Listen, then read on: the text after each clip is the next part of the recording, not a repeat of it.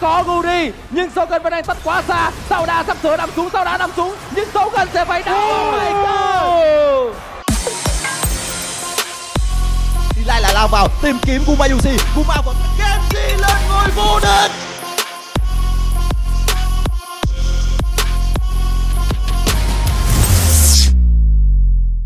Và Ahmed sẽ cần phải lùi ra để tạo ra những khoảng trống cho đối phương mà thôi. Còn trong khi đó tôi đang thấy Guri vẫn đang miệt mài để sở hữu được bùa xanh anh ta có được đó. Ahmed đang cố gắng phá có sự hỗ trợ cho nên sự tự tin Guri đang được đẩy lên mức độ cao. Sau đã đánh được rồi? Ây, Còn tóc biến tiếp cận đấm dân về. Mai Hà Gục đầu tiên hay chăng Mai Hà Gục tiến công đầu Tiến công đầu dành cho ở trong pha vừa rồi.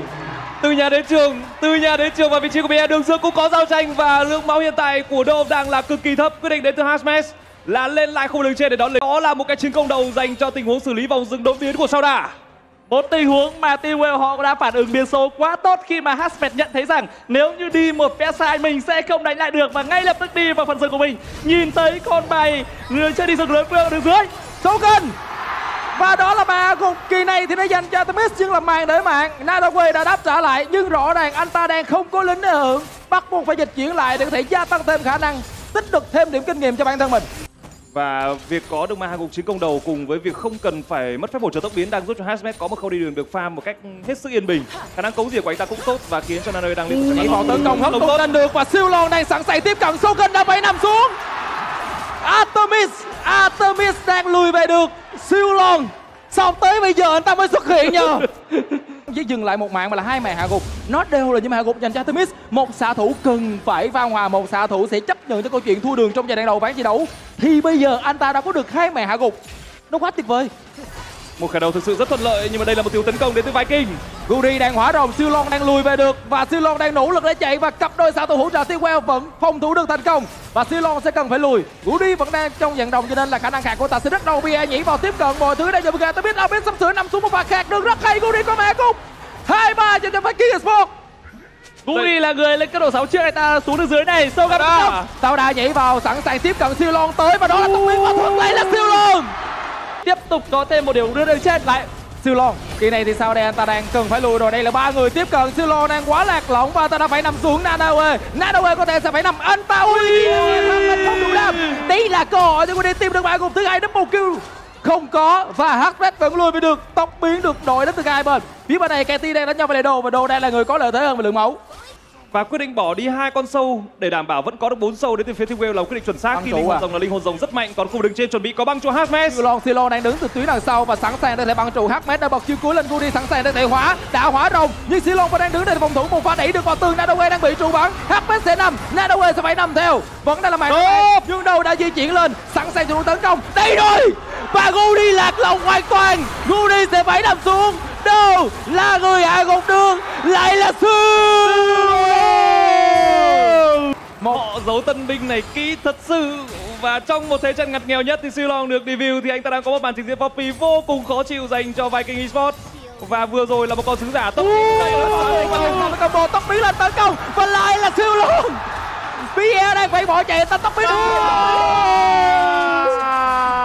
chuyện gì như thế này đây là tân vinh à cái này đeo bám. Đấm ngược về siêu long bật một điều làm sao bia nhảy ra được khỏi ngựa ta nhảy được khỏi ngựa. Chiêu cuối được bật lên rút long về bia bị giữ lại và đó là bàn gục cho Tomis tiếp tục là hạ gục dành cho một xạ thủ của Dreamwell với dấu ấn đến từ sau đà và siêu long. Siêu long đang can thiệp vào tổng số 8 trên 9 mà hạ gục mà Teamwell có tại thời điểm này. Họ gọi luôn con sứ giả đang là lợi thế về người ra cho Teamwell lái xe lái xe lái xe. Silo đang lái xe. Nadawe đang tới sẵn sàng tiếp cận. Anh ta giữ chân được nhưng Silo vẫn có thể lui về được thành công và cơ hội dành cho bên phía của Viking Sport tấn công vẫn còn bởi vì Goody vẫn đang trong dàn rồng và sẵn sàng với những cú khác. Rồng công nghệ là rồng linh hồn trong ván trận đấu này. Nanawe đang lựa góc để tấn công. Đằng sau là HV với những tình huống tấn công có thể được tạo ra. Và Nanawe vẫn đang đứng đợi đang đứng che cho người đồng đội của mình. Sau đà đang tới Sogan vẫn chưa sẵn sàng. Tích nước mắt vẫn chưa xong mà đồ cũng chưa có. Chiêu cuối đẩy Goody hay chăng? Đẩy được Goody và đấy là cơ hội dành cho phía của Tiêu họ sẽ có được con rồng free chuyện gì đang xảy ra ở ván thi đấu thứ ba đây vậy? Rồi, dòng đã có dành cho team well bên phía Viking họ muốn phản công. Và lại một lần nữa đang đeo bám, có một tình huống gọi mẹ ơi sau đó đang phải bỏ chạy? Siêu Long đã bị kẹt lại, siêu Long đang cố gắng phòng thủ, chiêu cuối của đâu đang được bật lên. Nadoe đã bị kẹt sát thương, tương đối là nhiều và nhảy vào hỗ trợ thêm. Không chế quá nhiều, Hắc đổi được mạng. Guri đang cần phải lùi với lượng máu ít rồi của bản thân mình. Artemis cũng không còn còi tấn công nữa. Double kill có cho được KT và thành thật mà nói thì con số chênh lệch gần 3.000 tiền nó chưa phải là con số lớn dành cho bên phía của Team Gale khi mà Viking Sport đang có một đội hình với hai con rồng rất khỏe về giai đoạn sau ván đấu. Những cái khí thế mà họ đang có tới từ tân binh Sư Long đang cho họ một ván đấu đánh nhau dồn dập và khiến cho bên phía Viking Sport cũng đã có những sự khó khăn trong việc phòng ngự những cái trụ của họ trong khoảng thời gian vừa qua. Đã có hai trụ dành cho bên phía của Team Gale. Họ đang chuyển dịch đội hình đội hình lên cánh trên bản đồ và liệu rằng trụ một đường trên của Viking Sport có phòng ngự được hay không đây? ta sẽ cùng chờ đợi bên phía của team Wales Wales không cần phải quá vội vàng. Đội hình của họ là đội hình về late game vẫn chơi tốt với ba xạ thủ. Bây giờ cũng đang muốn hóa dòng cấu xỉa máu của đối phương. Hiện tại team Wales họ đang bắt buộc phải phòng thủ ở đường trên này trong khi đó đường dưới thì Hasmet đã bắt đầu về nhà để có thể mua đồ tiếp. Sứ giả vẫn cứ tung ra nó không trúng vào ai cả. Viking họ đoán được điều này.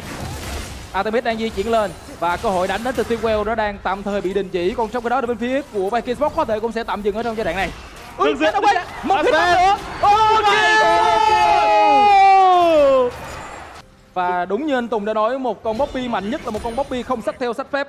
Và hiện tại mức độ hiệu quả của nó cũng đang vô cùng cao từ nãy tới giờ. Khả năng phòng thủ tốt. Ui mới nát xong. Yeah. đây rồi. Sức mạnh đã tới. Và đã giữ chân lại bị hất tung lên đồ bật chiêu cuối lên Bia nhảy qua tường. Và đồ quyết định dí theo. Nhưng cơ hội sống của Bia đã không còn nữa. Ê, xin lỗi là cơ hội à, nằm xuống của Bia đã không còn nữa. Anh ta sẽ lừa về được thành công. Và KT đang là mạng. Đối mạng hay chăng? Cudi hỏa rồng. Tóc biến bỏ chạy siêu lon tóc biến ngược và anh ta nằm xuống. Sau đó đang phải thoát đi liên tục là những tình huống cố gắng tẩu thoát đến từ bên phía của Tiêu Quang. Nhưng Sogan đang chặn người lại ơ không ai đỡ Sogan ai đó đỡ Sogan đã có Gudi nhưng Sogan vẫn đang tách quá xa. Sau đa sắp sửa nằm xuống sau đá nằm xuống nhưng Sogan sẽ phải đỡ. Oh my God. đó là Sogan lấy một lần nữa khi mà phải kiếm một ấy từ từ khu vực đường dưới. Nanaway lùi về được Baron thì sao? Baron thì sao? Đã muốn áp Baron này Và Dope có dịch chuyển ở trên người Anh ta sẽ quay trở lại với dịch chuyển này Một mình cân 3 đến không đến Baron Baron đến từ Viking Sport không phải là quá nhanh Nhưng Nadaway cũng có dịch chuyển ở pha thi đấu này Do đó thì tỷ lệ Viking Sport có được bộ lại Baron là vô cùng cao Liệu rằng có đòi được bộ lại Baron này hay không đây? Chúng ta sẽ cùng chờ đợi Đã có Baron dành cho Viking Esports và khi mà Đô xuất hiện thì tiệc đã tàn mất rồi. Vẫn có khả năng rút lui dành cho Viking Esports trong pha này. Họ chỉ phải hy sinh Shogun nhưng Shogun đã nằm xuống. siêu long bắt buộc phải sử dụng cái à, hạt hồi phục để tiếp tục trụ ở trong khoảng thời gian này Như vậy là sẽ tiếp tục phải phòng thủ đến từ Team Wales để chống lại những mùa lợi báo đến từ đối phương. Lượng tiền hai team bây giờ bằng khít nhau rồi. Và chúng ta thấy là bên phía Team Wales họ vẫn đang lợi thế về chỉ số rồng. Nhưng chất tướng đang ủng hộ dành cho Viking ở thời điểm này họ có chống chịu họ có đạp đứng trên. Rồi bắn KT KT dùng sát thương mạnh hơn và bắt buộc phải lùi tóc biến lên đánh thương oh my god lại là một siêu sao nữa của Viking Esports và giờ là KT Và rõ ràng là Hashmet trước đó thì anh ta để lẻ thắng được sau Nade nhưng sau một pha bị anh ta anh ta bị solo kill bởi KT anh ta cũng không dám đi để lẻ quá nhiều nữa rồi. Và câu chuyện giao tranh thì các bạn vừa được chứng kiến lượng sát thương tới từ Smolder. Đấy là vào Maokai của Sauda nha. Không biết là vào những vị trí xạ thủ của người sẽ như thế nào. Một cú chiêu cuối có vẻ là hơi sớm tới từ Silo. Họ có lợi thế về người trong thoáng chốc nhưng họ cũng chỉ để lại một con mắt chứ không có một pha phát động tấn công nào khác cả. Như vậy là con rồng tiếp theo sẽ là con rồng mà cái team có vẻ như không ưu tiên nhiều lắm mà họ tập trung vào Hamaron nhiều hơn ở trận này bởi vì cả hai team đều đang có rất nhiều sát thương. Họ đang vờn nhau ở khu vực sông, người đang kiểm soát sông tốt hơn là các thành viên của Viking Sport. Và bây giờ thì team Wales họ đang muốn đánh thì phải. đầu vừa rồi tôi không biết cái gì đã vào người của Hasbet nhưng anh ta rất đau trong tình huống đó đạo hóa rồng đi sẵn sàng viên của cạc siêu lon mất máu cũng tương đối mà thôi đã gọi mẹ và Sogan đang cần phải lùi tí xíu lượng năng lượng của ta vẫn còn đủ để chơi trong dạng hỏa đồng này cho nên Gudi bắt buộc phải cố gắng tác gọi là sử dụng nó nhiều nhất có thể. Siêu lon bị ăn một cú khạc vô cùng đau đớn. Nà đâu ghê siêu lon quyết định chuyển địa chỉ nhưng bia đã thoát đi được sau đó bị kẹt lại anh ta đang vô cùng đau đớn và phải bỏ chạy. Nhưng Sogan đã tới sẵn sàng một cú khạc. Gudi tóc biến khạc của người của Ahmed và nhảy chỉ được hai cú Yeah. khạc quá cũng đẹp. Đó là xuyên theo xuất hai thành viên. Người nằm xuống đầu tiên là Ahmed. Bia cũng đã bị hạ gục. Phía bên này Asmin quá đời đầu. Anh ta cũng bị dứt điểm. Và Viking Esports là đội thắng trong tình huống giao tranh vừa rồi Vâng và để xem tình huống quét bốn người của đối phương thì Viking Esports sẽ có những gì đây? Của họ đang là đẩy thẳng vào khu vực đường giữa và Cocky của KT sẽ là người bấm B về với cú dịch chuyển để anh ta có thể trở lại chung với đợt đẩy của Viking Esports. Có vẻ như là Viking Sport nếu như tốc độ đẩy của họ thì đủ endgame không? Ở Tôi nghĩ là được. Tôi nghĩ là họ sẽ thử endgame với những cú dịch chuyển. khó nhá, tình huống Sẽ này có là cực kỳ của nhạy cảm. Được, được, endgame được Tôi tin chắc là như vậy Bởi vì Viking Sport đang có đầy đủ những người để có thể end game với tốc độ rất nhanh đã là nhà lính và hai trụ bảo vệ nhà chính là mục tiêu tiếp theo. Sau đã nhảy vào trong những nỗ lực cuối cùng của mình? Nhưng ta không chịu nổi nhiệt có chiều cuối của lon nhưng nó vẫn chưa đủ. Nanoe đang bị trụ bắn và lon vẫn đang cố gắng để phòng thủ. Một cuộc khạc chết chóc đến từ Hết lên. hết lính, hết KT rồi. đã quay trở lại Hết đang rồi. lên. Họ phòng thủ được thành công Như vậy là ván thi đấu này vẫn chưa kết thúc và bên phía của Viking quyết định họ là đẩy tới nhà chính. Nhưng tấn công không là bao nhiêu cả. Bắt buộc phải ăn. Bắt buộc phải ăn Baron không bây giờ thì còn bây giờ. Tình huống này sẽ là tình huống 50 50 Nanawe đang đứng phía bên trên đã không còn bia nữa. Goody quyết định khóa rồng. Một cú khạc chú với người Soda và Ahmed. Một cú axi được bật lên. Baron cho Catafi của T-Well họ tìm cách để lui những cú khạc rất đau đớn. Đây là góc tự thân Anabit bung lông ra rút lâu về nhưng không giữ cho được Nanawe Soken đang khạc từng thành viên của đối phương. Soken nhắm vào người đường giữa của đối phương. Đồ nhẹ phía bên kia. Goody đang khạc rất đau đớn. KT lướt lên tấn công và ta hạ gục được thêm một thành viên nữa. Atabit về được không? Không trả về lời được. là không thể nào về được. Và Artemis bất lực hoàn toàn. Một cuộc cạc tiếp theo của Sogan cú Haxi 300 đồng cho Sogan và quan trọng hết cú Haxi này sẽ giúp cho Viking Esports tiến tới trận đấu chung kết tổng vào ngày 18 tháng 8 và đối thủ của họ là Gam Esports.